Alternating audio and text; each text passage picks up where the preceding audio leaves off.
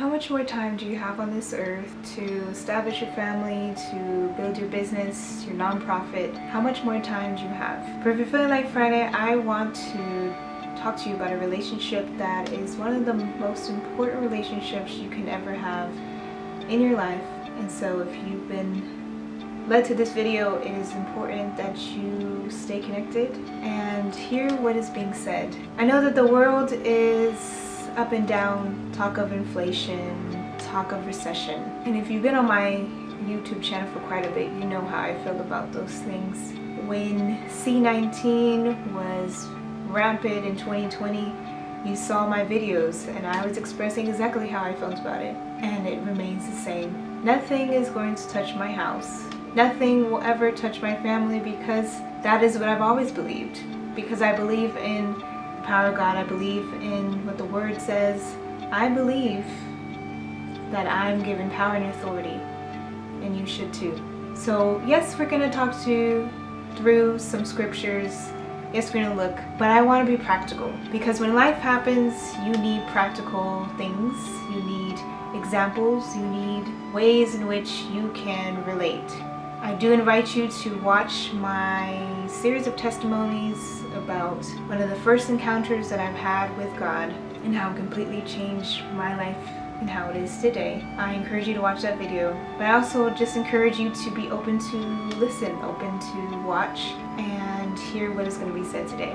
So currently recording is 2023 and there are rumors of war, there are talk of inflation and recession.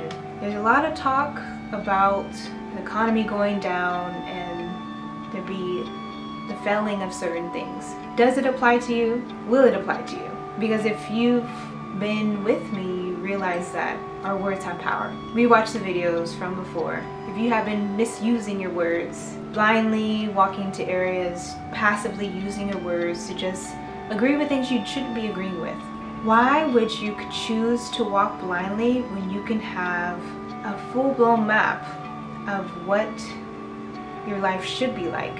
When you can have the key points and areas and revelation about what exactly you're designed to do. Why would you continue to not know what your purpose is when you can have access to an understanding of your purpose?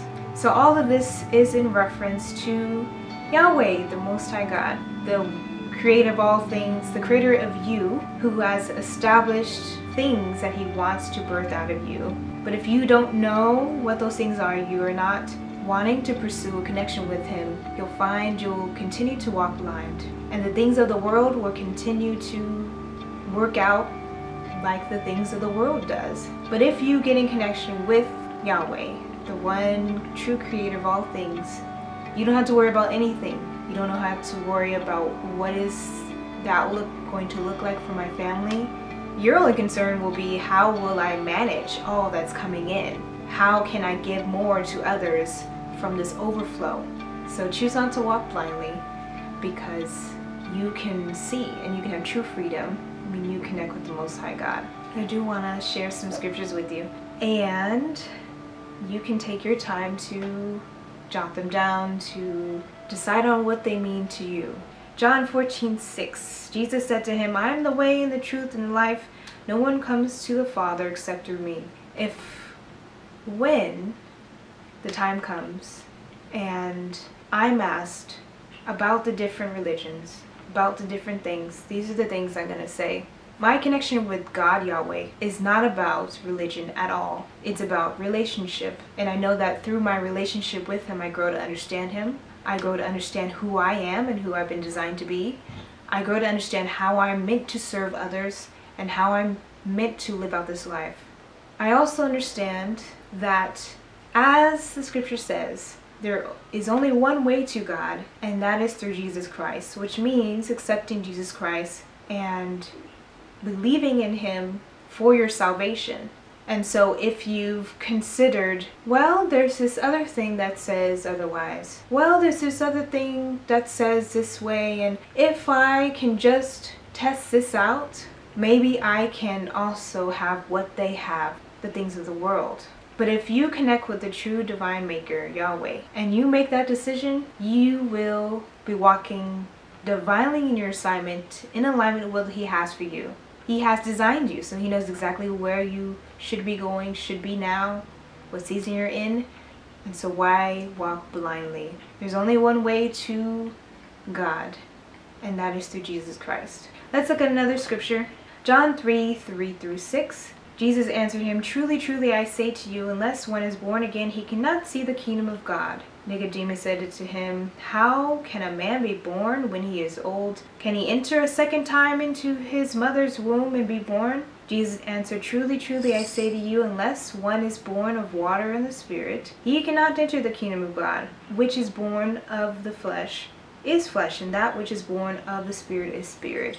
Jesus constantly talked throughout the Bible in the time of his ministry, which is three years, you can see God talking and Jesus talking because there's a Trinity. There's God the Father, Jesus the Son, and the Holy Spirit. And so we can have an ear to hear all of them because they are all connected without competition and one is trumping over the other. They're all three in Trinity. So when you see Jesus saying, Truly, truly, that means I'm telling you this is the truth. I say to you, unless one is born again, he cannot see the kingdom of God. We are born naturally. We're born from our mothers. And there is a spiritual birthing. There is a spiritual birth that happens when you accept Jesus into your heart. When you say, God, I'm going to serve you, there is something that changes for your life. And of course, and staying in that direction, staying committed to God, you will find that you will see fruit. Doesn't mean we're not going to be attacked. I can talk about variety of attacks that I've experienced. I'm not going to give glory to the enemy, but here I am.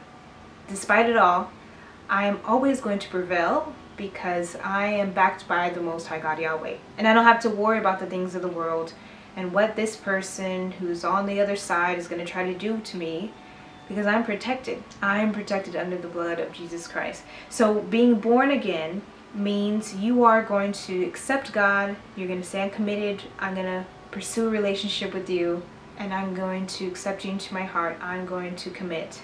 I'm going to be your daughter, your son. So he's talking to Nicodemus in John 3, and Nicodemus is basically saying, what do you mean being born again? I've already been born. Am I to be born a second time? How is that going to happen? And Jesus once again said, I'm telling you the truth, unless you've been born of water and spirit. So we talked about a spiritual rebirth and also saying by the water. Water in this case is referring to by baptism. So being baptized but also saying that I'm going to accept God into my heart. Because God has designed every single person, but there's free will. So He's not going to intrude and force Himself on you and say, well, you need to accept me. It is a choice. So you have to choose to say that God is going to be my Lord and Savior, my Father. If it's more intimate, my daddy, I am going to follow Him and I'm going to do what he's asking and assigning me to do. So goes on, that which is born of the flesh is flesh, and that which is born of the spirit is spirit. So knowing the distinction between the two, what is the flesh? The flesh is your desires that may not always be good. So you may desire to have things that you shouldn't have.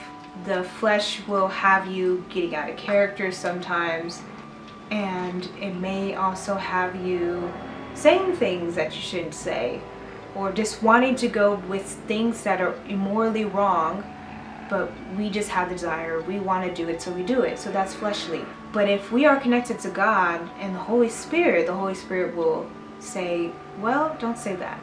Don't type that email. Drop it.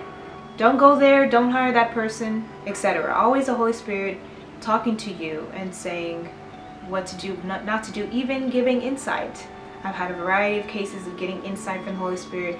Truly is a blessing to be connected to the Holy Spirit and have the ability to hear from God, to hear what is being said in those moments, those early mornings, middle of the day, times when that revelation is needed. So you want to make sure that you're connected to the Holy Spirit as well.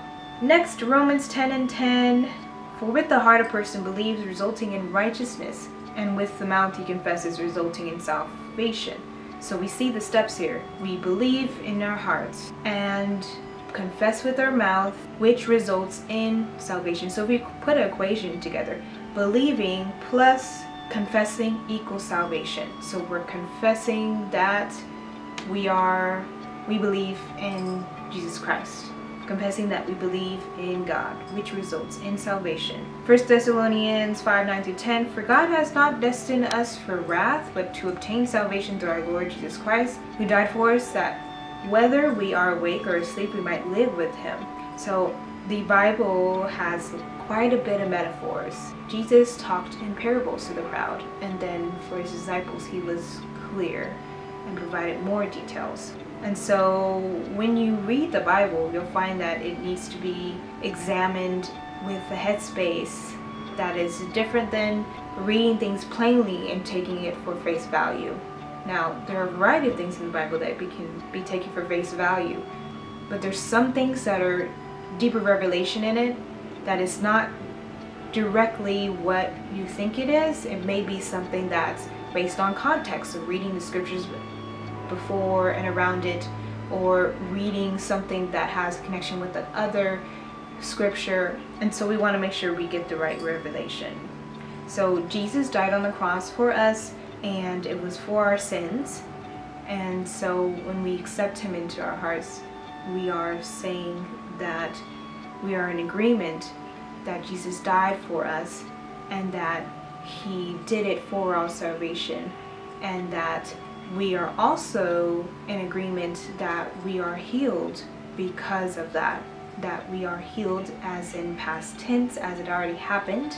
Although we may be in a current state of something, someone may be in a current state of something going on with their body or something, their body is reacting in a certain way or their mind is being targeted and attacked by the enemy, we know that we can continue to claim healing I am healed, I am forgiven, I am blessed, and it's in that moment. Although it may not be in that moment, it is going to manifest, it is going to result in what we're believing for. And so we just have to continue with our faith. Romans 6:23 For the wages of sin is death, but the free gift of God is eternal life in Christ Jesus our Lord. So if one continues on the path of sin without accepting God into their heart, they will find them in a place that no one should want to go to. No one should want to suffer after they leave this earth. No one. No one wants to willingly suffer. If you had something going on with your body, let's say, and I'm not putting this on you let's i'm gonna give myself as an example. I used to have a lot of heartburn so eating spicy foods and then laying down. The solution was not eating spicy food at night not laying on a certain side because when you lay on a certain side the contents from your stomach are going to go into your esophagus and that's heartburn. I knew the solution and so i stopped the habits stopped the action of eating late and it was resolved. If you know the solution, why would you continue to walk in a place of darkness, a place of lack, a place of being burdened and oppressed because you don't want to agree with the solution, because you don't want to accept the solution. Why would any of us do that? So, what you may be going through today, I present you to you the solution. The solution is Jesus Christ. Not meaning that you're not going to go through things. That after you accept Jesus Christ, that okay, life is going to be a breeze. I get whatever I want. Let me call God, aka prayer, and let me tell him what I want in this moment, when I want it, what the details are. That's not the reality. You're going to have to fight for your faith. You're going to have to fight for your salvation. You're going to have to fight for the things that are destined for you that the enemy is going to try to capture. You're gonna have to fight for those things. But you can fight and win because you're winning with Yahweh because you're backed by Him. you're backed by the Trinity, and that carries weight. John 1 12 through 13, but to all who did receive him, who believed in his name, he gave the right to become children of God, who were born, not of blood, nor the will of the flesh, nor of the will of man, but of God. Of God, you were born, reborn, because you accepted God into your heart. And last scripture, and an invitation, Romans 10 9 through 10. If you declare with your mouth Jesus is Lord and believe in your heart that God raised him from the dead, you will be saved. For it is with your heart that you believe and are justified, and it is with your mouth that you profess your faith and are saved. So you went through this whole video to this invitation that I hand to you to accept Yahweh, God, into your heart. This moment is dependent on your acceptance if you want to walk in a lifestyle that is not blinded by the things of the world, if you want to say, I am going to commit to God, I'm going to follow God, I'm going to be receptive to what God wants to do in my life, I'm going to walk on the divine pathway that God has for me and has designed for me, the one true creator. And I want to share that it's going to be challenges that come up, but by making a simple statement, you can have salvation and you can walk in a new life, a free life, a free life that you've yet to experience before. So I invite you to say this statement with me. I accept Jesus Christ into my heart. I know that he died on the cross for my sins and I accept this day his purpose for my life and I choose to walk in his divine pathway for me and I will commit to him today. You will say this to God and you will receive salvation. And it's not that it's going to be this supernatural feeling and you're going to shed your skin and you're going to be this new person, but in your heart you are a new person because you've decided to accept that God has designed you and that he has a purpose for you and that you're going to walk in the purpose that he has for you. So in this new life, on this pathway, you're going to have challenges and I want to be honest about them. You're going to face challenges. The enemy is going to try to attack you, attack your mind, to distract you, to make it so that you do not want to connect with others on this pathway, that you don't want to go to church, that you don't want to do certain things. But stay the course. Connect with a leader who is speaking from God. Do not be deceived. Ask for discernment. I think one of the best things you can do with your new life being reborn is to ask for discernment. Is this the person I'm supposed to be listening to? When I go into on social media, on YouTube, guide me to the people who I'm supposed to listen to in this season. Guide me to the people who you designed to speak to me, where I can be receptive and my heart can be receptive. You need someone to shepherd you, whether it be a pastor, a group that God said you need to join months ago. Go back and reach out to that group and join the group. The point is to have someone who is hearing from God that can teach you about the Bible, teaching about your new walk in life, teaching you about how you should be leading your life now, and being open to what they share with you. So maybe a church, maybe a group, but just make sure they're connected to God. Make sure God has said you need to connect with them. And if you hear any meowing, that is my cat. You want to make sure that it is God who's telling you and drawing you to this person and not yourself. Because the enemy will also have things that are being drawn to you on YouTube and TikTok and wherever else. But ask God and pray. So praying will be really important in your new lifestyle now. You want to pray and ask God for things.